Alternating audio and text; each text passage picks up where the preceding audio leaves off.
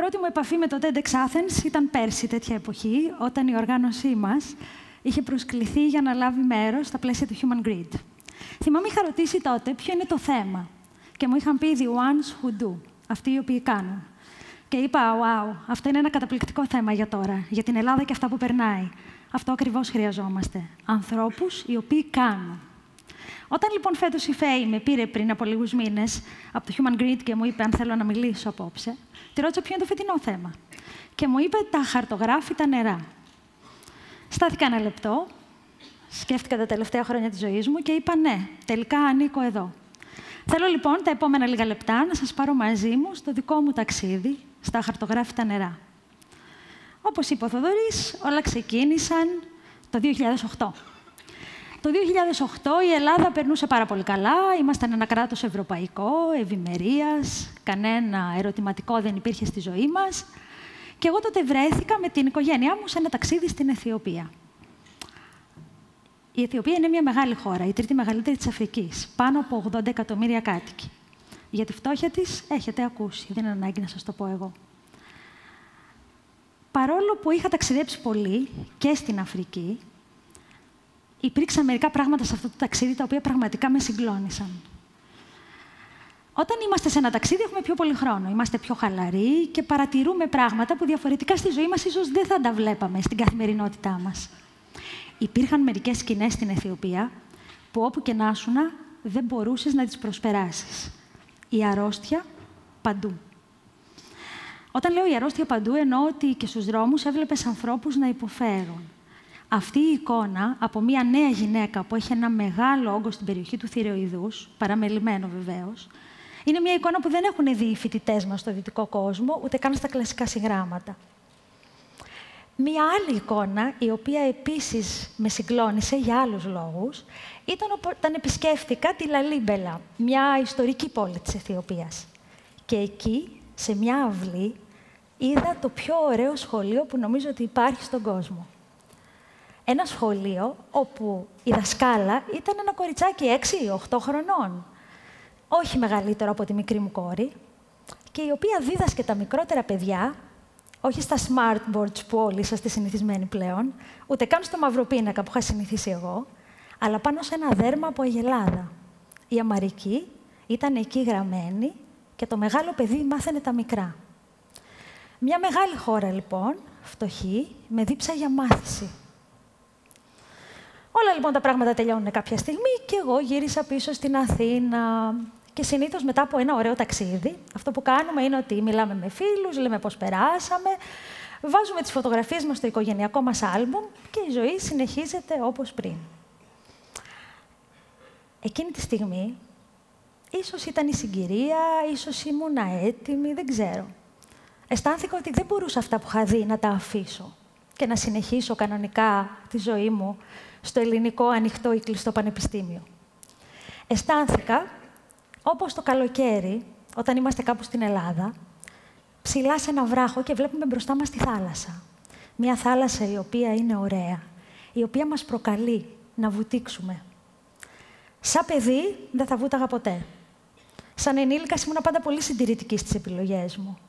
Εκείνη τη στιγμή όμως, το 2008, έκανα το μεγάλο βήμα και βούτυξα βούτυξα σε αχαρτογράφητα νερά. Το πρώτο πράγμα λοιπόν ήταν η απόφαση. Ωραία, τι κάνουμε, ποιος είναι ο στόχος. Θέλουμε να βοηθήσουμε ανθρώπους οι οποίοι υποφέρουν. Πώς ένας άνθρωπος από την Ευρώπη, ένας γιατρός, μπορεί να βοηθήσει ένα πληθυσμό 80 εκατομμυρίων. Ο γιατρός έχει στα χέρια του το εργαλείο της περίθαλψης. Ο πανεπιστημιακός όμως που είμαι, έχει ένα μεγαλύτερο εργαλείο στο χέρι του έχει το εργαλείο της εκπαίδευσης.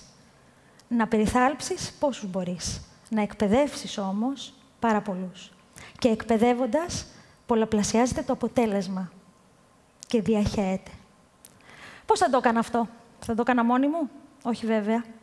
Τα χρόνια μου εμπειρία στην έρευνα μου δίδαξαν ότι όσο καλές ιδέες και να έχεις, αν δεν έχεις μια ομάδα από πίσω σου, δεν μπορείς να κάνεις τίποτα. Έτσι λοιπόν, Μίλησα με φίλους και γνωστούς από διαφορετικές πορείες της ζωής, με διαφορετικές γνώσεις ο καθένας, που εδώ μπορεί να φαίνονται πολλοί, αλλά στην πραγματικότητα ήταν ακριβώς μια χούφτα άνθρωποι, και αποφασίσαμε το εγώ να το κάνουμε εμείς και να χτίσουμε μια ομάδα. Μια ομάδα η οποία θα πρέπει να έχει ένα κοινό όραμα. Το να βοηθάει, ανιδιοτελώς, εθελοντικά, ανθρώπους που έχουν ανάγκη. Με εργαλείο βασικό την εκπαίδευση.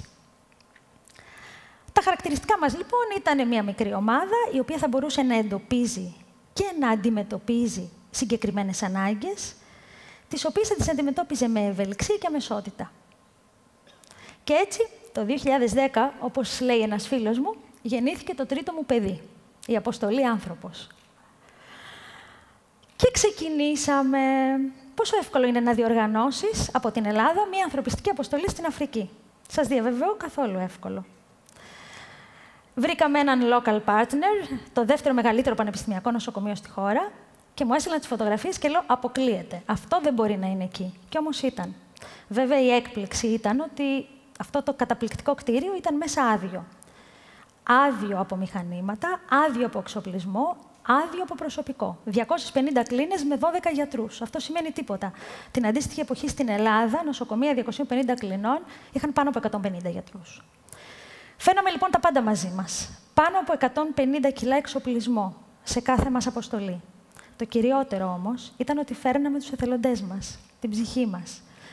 Οι οποίοι ήταν άνθρωποι και γιατροί και νοσηλευτές και από το ΕΚΑΒ και από το Πανεπιστήμιο και από το ΕΣΥ και από τον ιδιωτικό τομέα που ερχόντουσαν στον ελεύθερο χρόνο τους. Που δίνανε κέφι, διάθεση, γνώσεις, που δίνανε ψυχή. Γιατί χωρίς ψυχή δεν μπορείς να τα κάνεις αυτά. Και έτσι λοιπόν μέσα σε τρία χρόνια κάναμε πολλά. Κάναμε πάνω από 150 χειρουργία, κάναμε διάφορα. Το βασικότερο όμως ήταν ότι εκπαιδεύσαμε. Εκπαιδεύσαμε τους ανθρώπους. Και ζήσαμε πολλές στιγμές. Μία θα μοιραστώ μαζί σας. Αυτός ο πατέρας ήταν τυφλός από το ένα μάτι. Ήρθε να μας βρει τη δεύτερη χρονιά, φορώντας μία πλαστική σαγιονάρα στο ένα του πόδι. Στο άλλο ήταν ξυπόλυτος. Είχε περπατήσει τέσσερις ώρες μαζί με το μικρό του γιο που είχε ένα μεγάλο όγκο στην περιοχή της Παροτίδας. Φανταστείτε πώς αισθανθήκαμε όταν έπρεπε να πούμε σε αυτό το γονιό ότι δεν έχουμε τα χειρουργικά εργαλεία για να χειρουργήσουμε αυτό το παιδί. Του δώσαμε όμως την υπόσχεση ότι θα τα φέρουμε την επόμενη χρονιά. Και το κάναμε. Και ο πατέρας αυτός ξανάρθε. Όταν ήρθε η Βαρβάρα και μου λέει ήρθε πάλι εκείνος ο πατέρας με τη μία σαγιονάρα. Τρελαθήκαμε όλοι. Τέτοιες στιγμές, λοιπόν, μας δείχνουν ότι όσο απότομος και αν είναι ο δρόμος, όσο δύσκολες και αν είναι οι στροφές που παίρνεις και όσο και αν βλέπεις μερικές φορές και χάος κάτω δίπλα σου, τελικά όλα αξίζουν το χαμόγελο.